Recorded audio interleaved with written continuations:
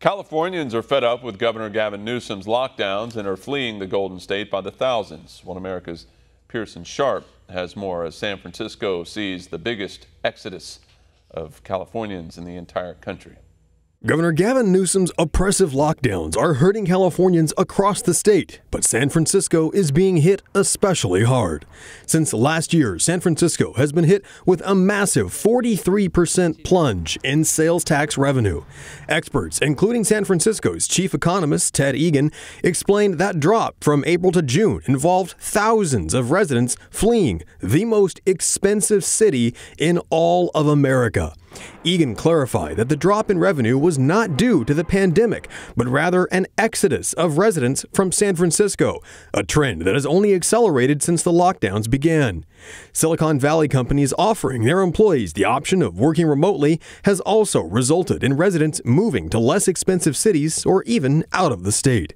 United Van Lines reported that outbound moving requests soared 128% above the national average just in September. All those residents fleeing has also resulted in a 20% drop in rent prices for October, the largest yearly decline ever recorded, and more than any other city in the country.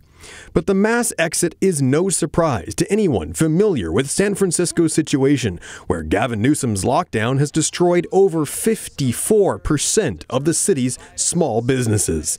Restaurants have been some of the hardest hit, with over 60% that were forced to close temporarily remaining permanently closed. In San Francisco, more than 370 restaurants that closed for the pandemic will never open their doors again, as Democrats sit back and do nothing.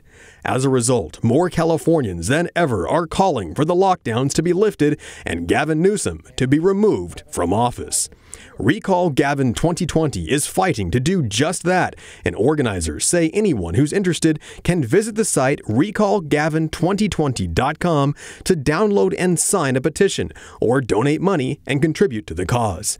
The effort must collect roughly 2 million signatures to remove the governor, and organizers say for simply the price of a postage stamp, Californians could see a new governor in office by next March.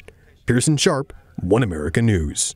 Want to see more videos like this? Click on the link below and subscribe to One America News on YouTube. And call your cable provider and kindly demand that One America News is added to your lineup. Call and subscribe today.